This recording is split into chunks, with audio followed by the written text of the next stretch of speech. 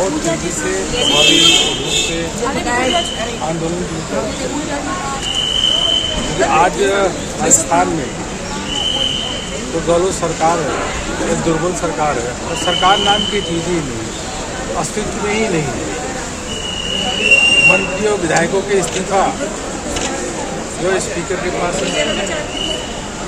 वो अपने नैतिक बहुत खो चुके हैं इस्तीफा दे दिए तो मंत्री और विधायक है,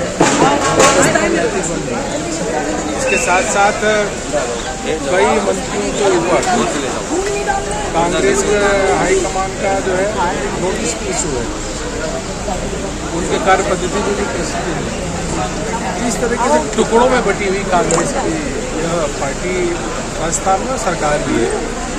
इससे जनता तरफ़ से परेशान है। और मुझको नहीं लगता कि अब राजस्थान की जनता जो त्राहिमाम कर रही है जनता से सरकार से कोई राहत मिलने वाली है।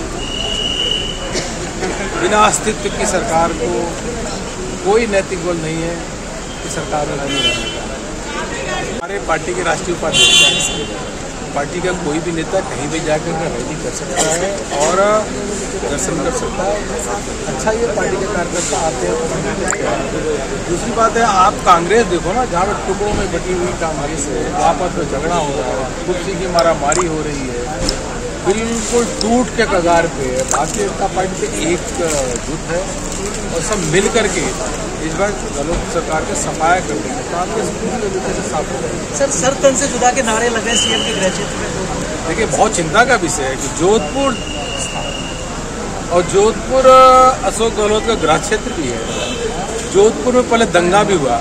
और दंगा के बाद भी कोई बड़ी कार्रवाई नहीं हुई और उसी क्षेत्र में इस प्रकार के नारे लगाना यह स्पष्ट संकेत देता है कि सरकार जो है अपीजमेंट के पॉलिटिक्स में चल रही है, तुष्टिकरण के पॉलिटिक्स में चल रही है और सरकार नाम की कोई चीज़ ही नहीं है। न सरकार की कोई हनक है, न सरकार का कोई बोलबाला है, सरकार मतलब अधिकारियों पे भी कोई पकड़ नहीं है। तो सरकार चीज़ ही नहीं है। अब मुझको लगता है कि राजस्थान जैसा गहलोत सरकार जैसी कमज़ोर सरकार देश के किसी भी राज्य में नहीं होगी जो यहाँ पे है। धन्यवाद।